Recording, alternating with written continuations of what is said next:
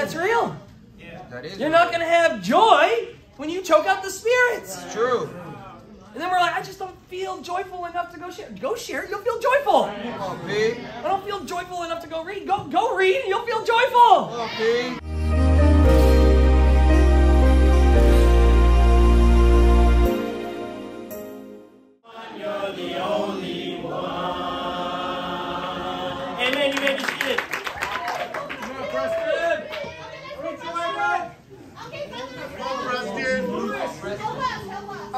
Amen, family. Let's give it up to uh, Speedy Gonzalez Eduardo for an incredible contribution. Amen. You know, as uh, as has shared, it is uh, Jubilant January. Amen.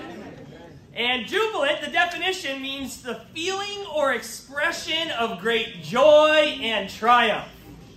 You know, last week we talked about having a jubilant journey with Jesus because we don't want a boring journey with Jesus on the way to heaven. Amen. You know, and I love Shauna's communion today, not because she's just my wife, amen. But I loved it because, man, joy, the world is in such a search for joy. And, and- and joy is such a, a searched out experience in all ages. And, and you think about it growing up, and you do some wild things to feel the feeling of joy. People have done some crazy things to feel joy. But last week we talked about getting excited about the righteous things, amen? And so we're going to talk about having a righteous joy today, amen? I got a couple scriptures I'm going to read to you. You can write them down, read them later, make sure it's what the Bible says, not what Preston says, amen? Psalm 96, verse 11 through 12, it says, Let the heavens rejoice, let the earth be glad, let the sea resound and all that is in it. Let the fields be jubilant and everything in them. Let all the trees of the forest sing for joy.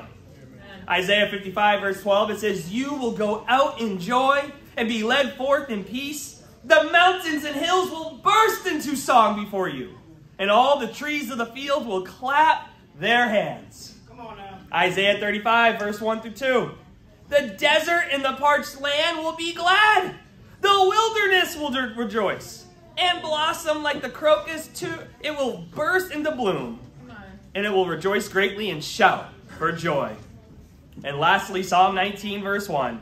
The heavens declare the glory of God, the skies proclaim the work of his hands. You know, I read these four scriptures and I go, man, it is phenomenal. The Bible says that the, the nature worships God. Wow. Come on. Can you just imagine this for a second? We live in a place with a lot of nature. It's True. easy to end up in the woods. Yeah. And can you imagine just taking a stroll through the woods and you see the trees just clapping their hands, singing to the Lord? You'd be like, man, I don't know what I just ate, but something's messed up. You know, but can you imagine just, just walking by a mountain and hearing the mountain sing? Man, what is that? Oh, glory days? What is that right there? And you can just hear the nature sing and praise God. The Bible clear that nature is joyful in their praise to God. Now, why does the nature have so much joy in their praise to God? Check out John, Job, Job, Job chapter 12, amen? Amen. Some of us need a job, so we're going to go to Job. Job 12, verse 7. Preach, bro. The Bible says here, but ask the animals, and they will teach you. So go talk to the bird after this, all right? Or the birds of the air, and they will tell you. Or speak to the earth, and it will teach you. Or let the fish of the sea inform you.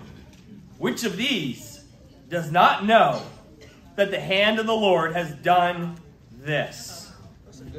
You know what's incredible is that each part of the world, the creation of this world, knows that God is the creator. And so they know who to give credit to. And so the nature sings and claps its hands and praises God because it knows who created it. See, when you know your creator, you are joyful. You can be happy because you can be in his presence. And nature sings because it knows its creator. You know, now when you leave here, I don't want to find anybody trying to go talk to the squirrels at PSU. Amen. You want to find the most friendliest squirrels in Portland? Just go to the Portland State Community or University right there. They will sit on your lap. But I don't want to hear you whispering to them and asking them, man, why do you praise God? But here, we learn nature loves God because it knows that God created it. Amen. I started to think, man, how much more for humans to have so much more joy?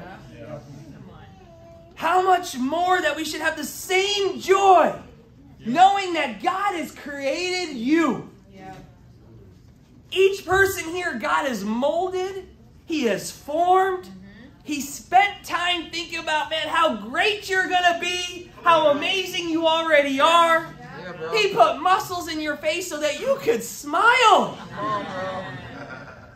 You should use some of that right now. On. But he just, he looked at you and he said, That's my child. That's my child. We should have the same joy because we're made in the image of God. We are his creation. Turn me to 1 Chronicles 16. You know, as his creation, we should be singing praises right alongside the mountains, right alongside the hills. As disciples, we should have the most joy in our life. Don't tell me a mountain's more fired up to praise God than you. Don't, don't tell me that squirrel's more fired up than you. But, but it's cold outside. Man, that thing lives outside. See, every day God has given us a reason to remember that God has created us. And so he's given us a reason to celebrate joyfully with the Creator. First Chronicles 16 and verse 9, the Bible says here, Sing to him. Sing praise to him. Tell of all of his wonderful acts. Glory in his holy name. Let the hearts of those who seek the Lord rejoice. Look to the Lord and his strength. Seek his face always. You know, as you seek after God, you should be joyful. Psalm 119, 1 through 2 teaches that, hey, blessed are those who seek God with all their heart. Meaning, blessed means superlatively happy, the happiest, the highest form of happiness a human could attain. And it says, blessed are those who seek God. Here it's teaching us that, man, joyful are those who seek his face. But it brought me to question, man, what does bring us joy? What brings us, what gets us up every day? What keeps us going? What allows us to have that internal happiness and joy? Well, we're going to learn a little bit throughout the Bible, amen? Amen. I got a couple scriptures here for you, amen? Don't get tired of turning. Isaiah chapter 9. Isaiah chapter 9, verse 6. It says, For to us a child is born, and to us a son is given, and the government will be on his shoulders. He will be called Wonderful Counselor, Mighty God, Everlasting Father, Prince of Peace. Who's ever been into a room uh, when a baby's been born? Someone in your family, maybe your own child, right? You walk in and you can't do anything but smile. You're fired up. At least for the first couple months, amen? First couple weeks. You're smiling. Because it's a bundle of joy. That's what we call the children, a bundle of joy. Then they hit like two and you're like, ah, it's a child of terror. But they, they, they come back to becoming the bundles of joy eventually, amen? But what's amazing is here in the Old Testament, you have this prophecy, this prediction of the Messiah. And all throughout the Old Testament, when the people heard about these prophecies of, of the Messiah to come, it would just light up the room. It would give them great joy. They got excited. They're like, "You're you're telling me we're going to have a Savior, a King of Israel once again? And it just brought great joy nice. as they heard about the hope of Jesus coming to this world. Wow. Well, let's jump to when that happens in Matthew chapter 2.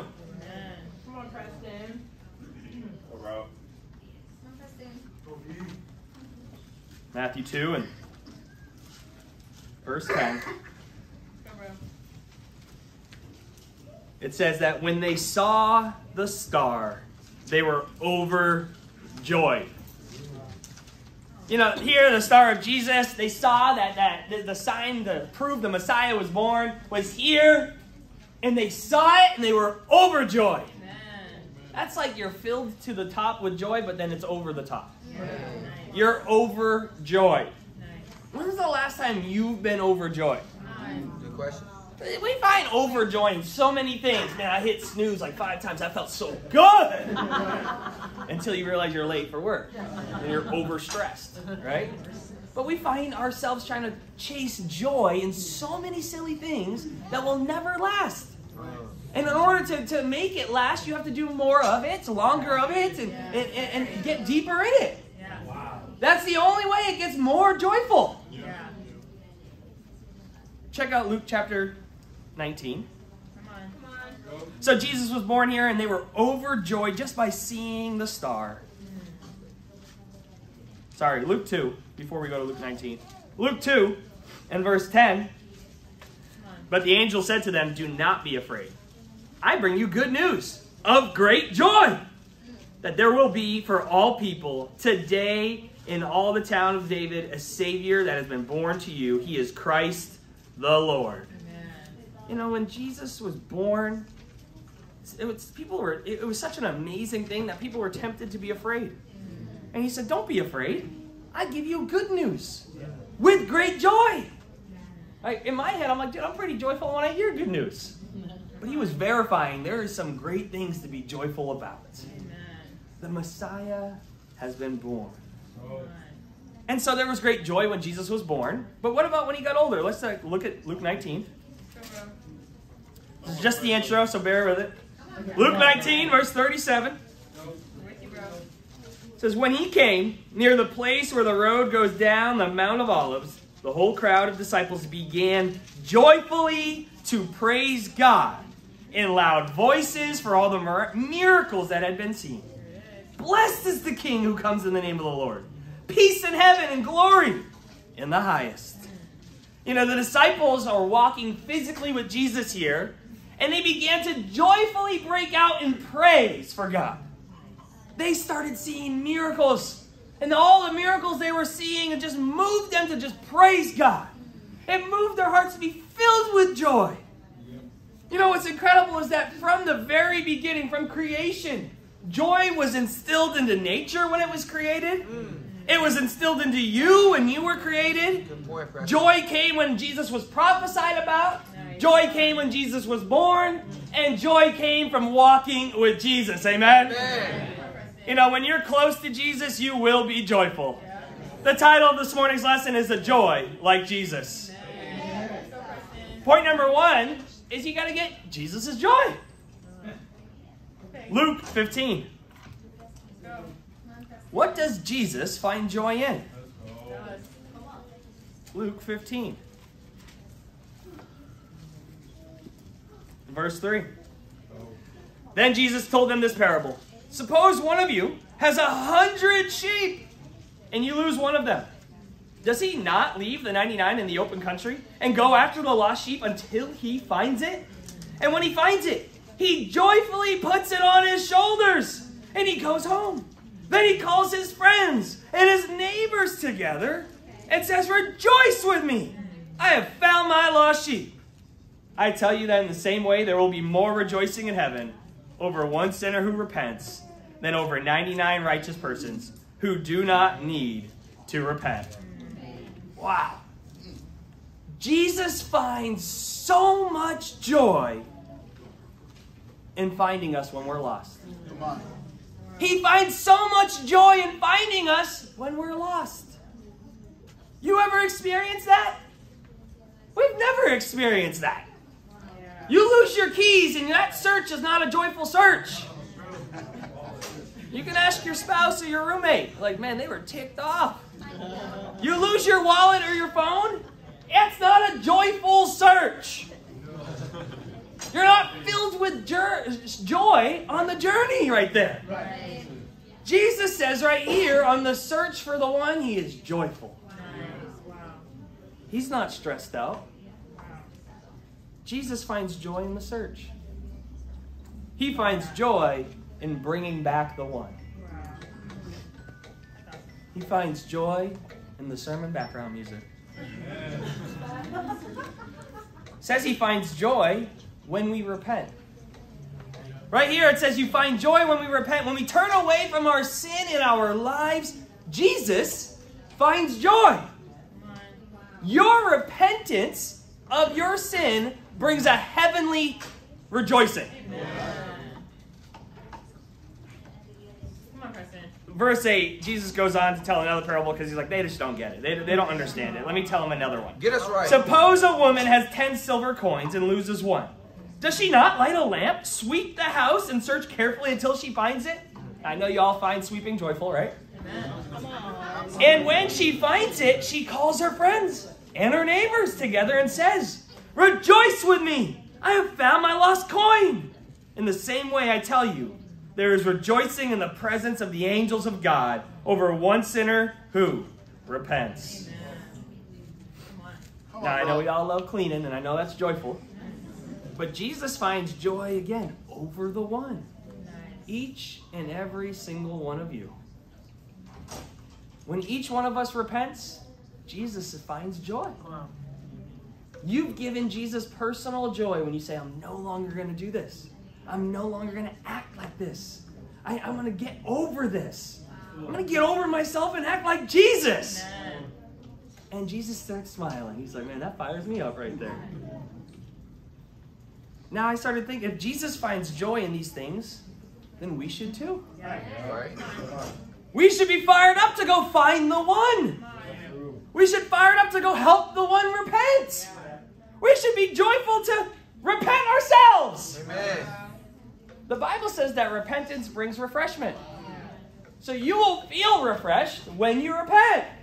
Stop waiting to feel refreshed to repent. You know, there's some of us in here that we need to just get restored in our hearts with God.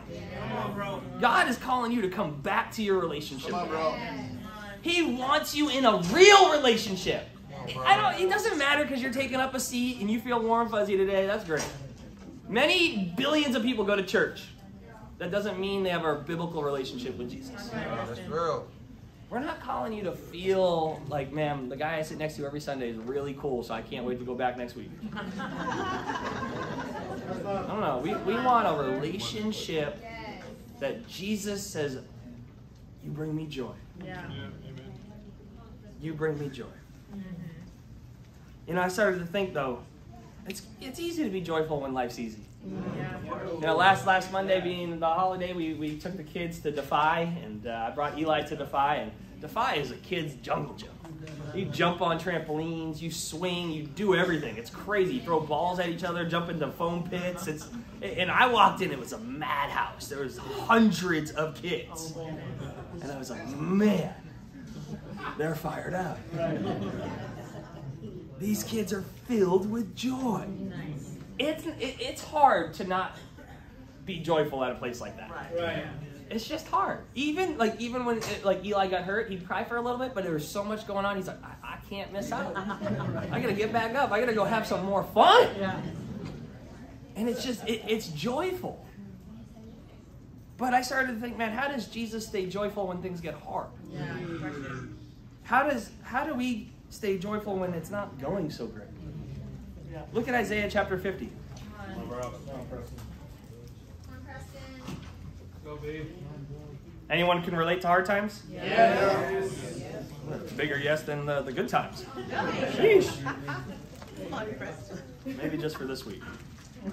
Isaiah 50, verse 6 says, I've offered my back to those who beat me, my cheeks to those who pulled out my beard. I did not hide my face from mocking and spitting. You know, this gives us a little bit of a foreshadowing of what Jesus was going to have to go through when he comes to this earth. And it says that this brutal beating that Jesus is going to have to experience, he has to go through this. And somehow he stayed joyful through it all. I go, man, how? How? sometimes we get in such hard spots in our lives, we feel like, man, you, you just don't understand. You have no idea. I can't be joyful right now. And, and I, I want to remind everybody me, you, the person next to you, we are not the, the example Jesus is. Right. And if he was able to be joyful through the most horrific death, the darkest times, I promise you, you can be joyful through what you're going through as well. That's real. That's true. I promise you. But you have to do it Jesus' way. Mm. Yeah. We all want Jesus' results, but I mean, I still want to do it my way.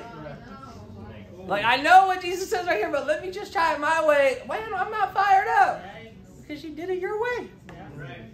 Stop doing it your way. Right. Come on. And you got to do it Jesus' way. Come on. Look at Hebrews chapter 12. I started thinking, man, that's, that's a rough scripture. If that scripture was written about me, man, I don't know if I'd be joyful. I think I'd be dreadful. And and in Hebrews 12, he teaches us here in verse 2 what Jesus was focused on through it all. In verse 2, it says, Let us fix our eyes on Jesus, the author and perfecter of our faith, who for the joy set before him endured the cross, scorning its shame, and sat down at the right hand of the throne of God. You know, it says here that going into the cross, he was able to, through the shame, through the beatings and the blows, the harsh words, those mocking him, pulling his beard, through all the pain, he was able to see the joy that was set before him. He saw the joy of you repenting and changing your life. He saw the joy of people coming out of the darkness and into the light. He saw the joy that would come because he stayed righteous and trusting of God through his present pain. Come on. I got to ask, what is so hard in your life that causes you to stop trusting God and let go of your righteousness? What is so hard in your life that causes you to stop trusting God and let go of righteousness? I want you to think about that for a second. And think about what could God do if you chose to be righteous and trusting during these hard times? Yeah. Yeah. During those tough moments? What could he do if you were a little less concerned about yourself and you found joy in the hope of what could and who could be transformed through you staying close to God? Jesus, through the darkest time in his life, was able to stay focused on the joy that was set before him. I started to say, man, that's tough. How do you do that? Yeah. Luke chapter 10. Come on. Go. Come on, Preston. Luke chapter 10, Come on, Preston. verse 21. Come on, bro. Help us out, bro. Come on. It says, At that time, Jesus, full of joy, full of joy, and through the Holy Spirit, said, I praise you, Father, Lord of heaven and earth, because you have hidden these things from the wise and the learned, and you've revealed them to little children. Yes, Father, for this was your good pleasure. Here it gives us the source of Jesus' joy. Yeah. He says it's through the Holy Spirit that he's joyful. Now, up, up a few verses, it's interesting. We learn he's talking to his disciples, and he says that he's hidden these things from the wise and the learned.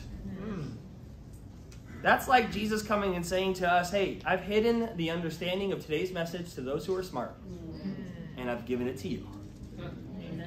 Amen. So if you're having a hard time understanding, Amen. but I started to think, man, honestly, are you do you think too highly of yourself to learn at Jesus' feet? That's a good point. Some of us are just too smart, too wise in your own eyes to learn from Jesus. Jesus tells you to do this, you know, I don't, man, that just doesn't make sense. I, it doesn't feel good. I don't want to do that. And why? That's not going to bring me joy Yikes. When you've been trying it your way for forever and you're still not joyful. And, and we have to have that mindset. We have to have a mindset to understand that here it teaches us that Jesus full of joy through the Holy Spirit. Yeah. That it was through the Holy Spirit. Jump up to verse 17. He says that the 72 returned with joy. So the, his disciples came to him and they were fired up. They had joy. Nice. And he said, Lord, even the demons submit to us in our name. So they're fired up because they're like, man, demons are submitting to us, Jesus. I should be joyful right here. Look what I'm doing. He replied, I saw Satan fall like lightning from heaven. I've given you authority to trample on snakes and scorpions and to overcome all the power of the enemy. Nothing will harm you. However, do not rejoice that your that the spirits submit to you, but rejoice that your names are written in heaven. Amen. That's a good one, Pastor. You know what I love? Sometimes we're all like, Jesus, look, I'm fired up today because look what I did for you. I'm joyful today because look what I did this morning. And Jesus says, stop, stop. Our identity isn't in the works we do. Right. All right, our joy isn't in our performance. Our joy is in the fact that our names are written in heaven. Come on, Pete. That's a good point, bro. That's good. That's the joy in Jesus that each of us should have. Nice. He wants you to go from being a lost sheep that he joyfully finds and that he can joyfully carry back into his kingdom. But for some of us, it's either time to repent and it's time to come back home, or it's time to, you might be home, but you need to repent. Come on, bro. Come on, bro. Point number two is the joy within us. Turn me to Acts chapter 8. Come on, bro. in verse 26. Actually, let's just close it out here. You know, it's an incredible story, 26 to 39. The, the Ethiopian eunuch, he travels 3,000 miles to go worship outside of a temple. On his way home, he's reading the book of Isaiah the prophet. Philip comes up to him and he's like, Man, do you know what you're reading? He's like, How can I unless someone explains it to me? Starting with that very passage of scripture, he explains to him the good news about Jesus. And somewhere along that explanation, he sees a body of water in the middle of desert. And he says, There's water. What could stand in the way of me being baptized? Hey. They go down into the water. He baptizes them. And look what it ends out in verse 38. And he gave orders to stop the chariot. Then both Philip and the eunuch went down into the water. Philip baptized them. When they came up out of the water, the Spirit of the Lord suddenly took Philip away. And the eunuch did not see him again, but went on his way rejoicing. This eunuch was fired up. He just traveled 3,000 miles to sit outside church service, to travel back home alone, keep reading, and get baptized in some random pool of water in the desert. Why would he be so fired up? Well, let's look at Acts chapter 16. Maybe he's the only one. Maybe he's the only guy. Random case. Let's go, Acts. Acts 16, verse 32. Then they spoke the word of the Lord to him and all to all the others in the house. At that hour of the night, the jailer took them and washed their wounds. Then immediately he and all of his family were baptized. The jailer brought them into his house and set a meal before them. He was filled with joy because he had come to believe in God and his whole family. You know, here you have the eunuch, you have the jailer, and both are just filled with joy. What did these people have in common? They had in common that they first came to know God, they came to know Jesus, they were baptized for the forgiveness of their sins, and then they received the Holy Spirit. And that Holy Spirit is the source of the joy. Yeah. Come on, bro. Turn me to Romans chapter 8. You guys want some good stuff? Yeah, I, I need some great stuff. Romans chapter 8, verse 11. And if the spirit of him who raised Jesus from the dead is living in you, he who raised Christ from the dead will also give life to your mortal bodies through his spirit who lives in you. So this teaches us that the same spirit that brought Jesus joy is the same spirit that rose him from the dead, and it's the same spirit that lives inside of you as a baptized disciple. Amen. Why wouldn't you be joyful? What would stop you from being joyful if you have that same spirit? True. What would slow you down? What would what would choke it out? 1 Thessalonians 5, 16 through 18 says, Be joyful always, Yes. but do not quench the spirit. Meaning you could have the spirit living inside of you, but you can choke it out. You can choke it out. And you want to know, man, I don't know. Why am I not growing? Why don't I feel joyful? You've choked out the Spirit. I show up every week. Yeah, but you don't live it out daily. A biblical relationship with God is a daily relationship with God, not a weekly relationship with God. And, and here it says, do not quench the Spirit. Do not let anything steal your joy. You know, when you let the Holy Spirit move in your life, you'll always have that joy. You know, as some have shared, we had that blaze. We were pushing ourselves, share with more than ever, talk to more people than ever. And you know, I'm impressed by what God's doing amongst our teen ministry. Amen. You know, uh, uh, Sanaya sent Shauna a really cool text message. She said, Shauna, you challenged us to share our faith. And I was scared. I was scared to share at high school. Sharing anywhere is pretty tough, but sharing in high school can be the toughest. True. You can't you can't hide from the person you just shared with ever again. Like they're, you're in school for next year together, next three years.